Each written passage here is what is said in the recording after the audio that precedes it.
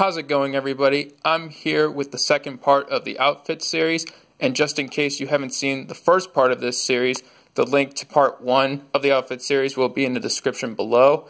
And also, you can check out our Instagram page, Verdict Squad Now, for other behind the scenes content and other sneak peeks for future parts of the series and for other content moving forward. And also be sure to follow us on Twitter at Verdict, Verdict Squad Now. Just to be sure you're up to date with any news or any sort of newsworthy items that we will post over there.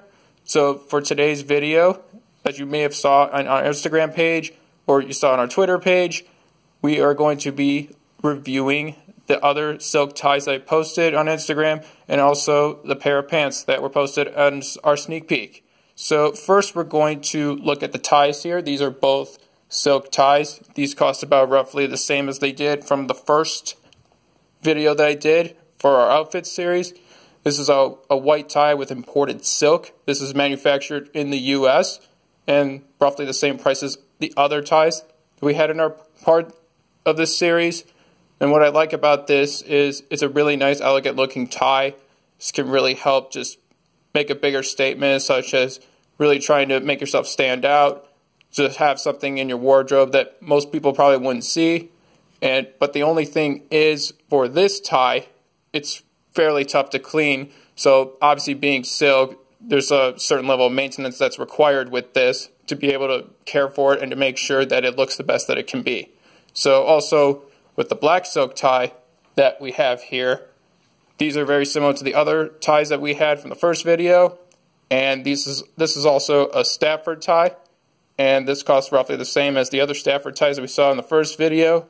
And this is, like the other ties, I don't think I remember to mention this in the first video, but all the Stafford ties are spot clean only, so this makes it a little tougher to be able to clean on a regular basis just because you won't be able to throw it in your washing machine when you're doing a load of laundry or just take it to the cleaners.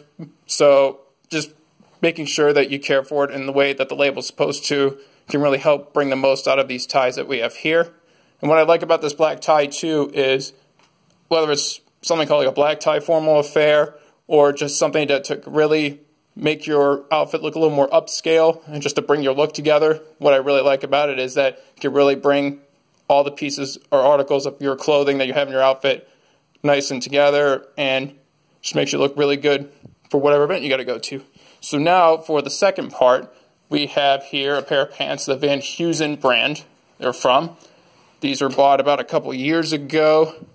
I assume they have something like this still available in stores. And for the, these pants, they cost about 20 to $30. And overall, I like the quality of them. They have a good fit overall. And they also don't feel too snug. And they fit comfortably with whatever belt that you use. So they overall fit very well when you wear them. Uh, only thing is that depending on your budget, maybe 20 to $30 for a pair of pants, it might be a little much. But for Van Heusen, which is overall a really nice brand, they're worth the price to me. That's just my opinion. Obviously, everybody has their own opinion or verdict.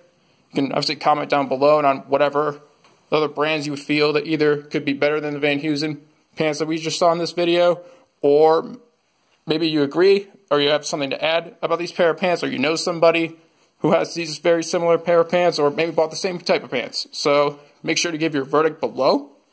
And also, I'd probably buy these again probably in a different color, whether it's instead of these dark gray that I have here, which I wanted to switch up in my wardrobe just because I didn't want to just have all black or midnight blue or navy blue, just to be sure to have something a little different, just so I have different options available to me or different selections of styles that I have within my closet, just for whether it's any event that I have to go to or a party or whatever. So, really overall, it's a really good brand. I definitely recommend it. Just uh, if you have any other brands that you would recommend, make sure to comment below. Give us your own personal verdict. And also, for the next part of this series coming up, we'll be either looking at nice pair of socks with shoes. We'll have to see if we're going to either make that into one video or just two. Not quite sure yet for the next part of the series. And hopefully we'll get the next part of the series, part three, up before the end of this weekend. So be sure to be on the lookout for that. If you haven't already, subscribe to our channel just to be sure that you know when videos will be posted and you get an alert after you click the notification bell knowing that when a video is uploaded you can watch it right away. Also, like I said before, be sure to follow us on Twitter. We'll be sure to give updates as to the progress of the third part of the video, when it's going to be up, when sneak peeks are going to be up on our Instagram page. Want to take a look at our Instagram page? Be sure to come, make sure to follow us on Instagram. You'll be able to see it there. And I appreciate everybody watching. Thank you so much, and I'll see everybody in the next video. Take care.